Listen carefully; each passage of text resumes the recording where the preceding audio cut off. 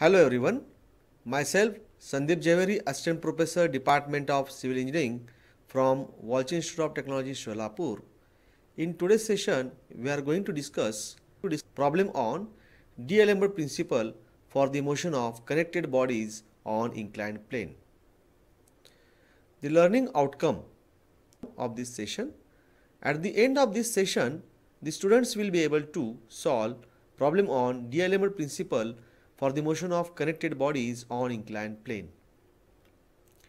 So this is a problem. The statement is two rough planes which are inclined at 30 degree and 60 degree to the horizontal are placed back to back as shown in the figure 1 below. The blocks of weights 50 Newton and 100 Newton are placed on the faces and are connected by a string which is running parallel to planes and passing over a frictionless pulley. If coefficient of friction mu is equals to one third that is 0.66 so we are supposed to find the resulting acceleration and tension in the string. So here now by looking to the figure we can say that this block is trying to move in this direction right? So which is connected to the another block having magnitude 15 newton block. So this 15 newton block is trying to move in upward direction while the 100 newton block is trying to move in downward direction. As this inclination of this surface is more and the weight is also more so first of all consider free body diagram for a body which is moving down the plane. So this 100 Newton block is trying to move in a downward direction. So according to D'Alembert principle there exists an inertia force which is opposite to the direction of motion. Now the direction of motion is in the down down to the plane and the inertia force is opposite to that that is shown here. It is given by mass into acceleration. This mass is replaced by 100 by g. This 100 is nothing but the weight of this block that is 100 Newton. Similarly, this block is having self weight 100 Newton. So, this weight can be resolved into two components. One is normal to this inclined surface and another is parallel to this inclined surface. The component which is normal to this uh, inclined surface is 100 cos 60 degree which is acting towards the CG of this weight of the block and another which is acting along the direction of the plane that is in a downward direction that is 100 sine 60 degree. So one of the component which is acting parallel to this plane that is 100 sine 60 degree the direction is shown as in the figure. The second is a vertical component of this force or this is a normal to the plane inclined plane which is having magnitude 100 cos 60 degree. The direction is shown in the figure. Now as this block is connected to another block by means of a string. So if you consider the free body diagram we can show the tension in the string in this way Similarly, there is a coefficient of friction that is frictional exist between this block and the surface. So, this direction of frictional force is opposite to the direction of motion. And by law of friction, there exists normal reaction as it is in contact with the surface. So, the direction of frictional force is opposite to the direction of motion Direction of inertia force is also opposite to direction of motion and this is normal reaction which is due to the point of contact of this block and the surface. So here all these forces we are shown here. Now let us consider free body diagram for the body which is moving up the plane. Now this is a 50 Newton block this is moving up to the plane. Now, as it is moving up the plane, the inertia force exists according to D'Alembert principle and the direction is opposite to that of direction of motion. So this is moving in a downward direction. Now this inertia force having magnitude is mass into acceleration and this mass is given by W by G into A that is W means the weight of the block which is given as 50 Newton. So 50 by G into acceleration. Now acceleration of the system is constant that is A. So for both the free body diagram this acceleration is same and for, for both the free body diagram the coefficient of friction value is given same. Now this 50 Newton block is going to resolve into two components. One is normal to this inclined surface and another is parallel to this inclined surface. The normal component is 50 cos 30 degree and this parallel component is 50 sin 30 degree. The direction are also shown in the figure. Now there exists frictional force. So this value is F2 which is having direction opposite to the direction of motion.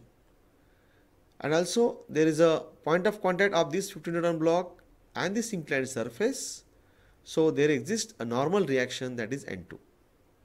So this is the direction of motion of this block of 50 Newton and the direction of block of 100 Newton is also given. Now, this free body diagram is very important for writing the equation and from that equations we will obtain the value of unknowns that is acceleration of the system and the tension in the string. Let us look to another slide. Now as we know the T be the tension in the string a be the acceleration of the system. Mu that is the coefficient of friction which is same for both the inclined surface which are in contact with the 100 Newton and 50 Newton block. Now by law of friction we have coefficient of friction is equals to the F by N. F is a frictional force and N is a normal reaction. Now let us consider a BD of 100 Newton body which is moving down the plane. So here from this free body diagram we can obtain the equation. If you consider summation of forces normal to the inclined plane. So N1 minus 100 cos 60 degree equals to 0. N1 will work out to be 15 Newton. Similarly by using law of friction and knowing the value of mu as one third we are getting F1 is equal to mu into N that is equals to 16.67 Newton. Now we can apply the D'Alembert principle at dynamic equilibrium summation of forces parallel to inclined plane equal to 0. So we have T plus 100 by G into A that is inertia force minus 100 sine 60 degree plus F1 equal to 0. Now putting all the values of G as 9.81 and uh, F1 as 16.67 we are getting one equation which is in the form of tension in the string and acceleration that is T plus 10.193 into acceleration of the system that is equals to 16, 69.932 that is expression number 2. Similarly, if we consider the free body diagram of 50 Newton body which is moving up to the plane. So consider summation of forces which is normal to the plane equal to 0. So we are getting the expression as so we are getting n2 minus 50 cos 30 degree equal to 0. So n2 will be 43.301 Newton. Since we know F2 is equal to mu into n2. So mu is one third and N2 is 43.301 so we are getting the frictional force for the body of 50 Newton block is 14.433 Newton. So this is from law of friction that is mu is equal to frictional force divided by the normal reaction. Now applying D'Alembert principle at dynamic equilibrium summation of forces parallel to inclined plane equal to 0. So we have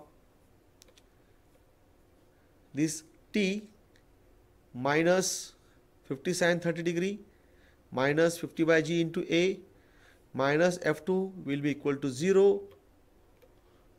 So here T minus 50 by G into A minus 50 sine 30 degree minus F2 equal to 0. So by putting the value of G 9.81 and the value of frictional force as 14.433 we are getting the equation in terms of tension in the string and acceleration of the system as T minus 5.096 into A which is equals to 39.433.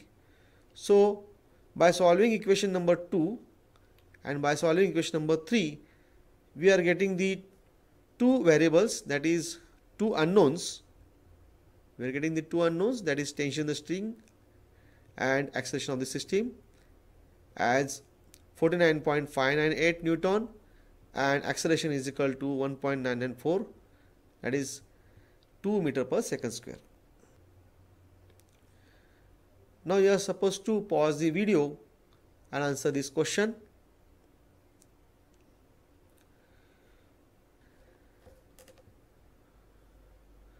So this is a free body diagram. So as the body is moving towards rightward direction, the tension in the string is T and uh, the inertia force is opposite to the direction of motion that is 200 by G into A. The weight of the body is 200 Newton which is acting vertical downward. The frictional force is acting towards leftward direction that is opposite to the direction of motion.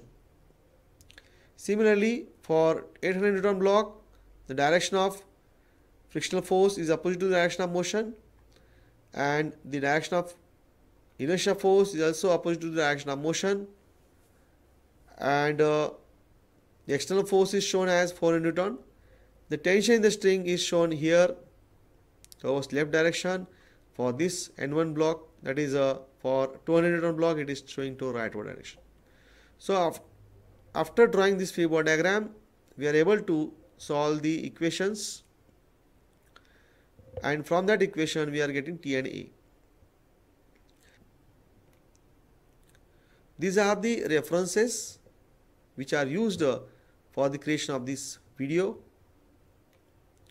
Thank you.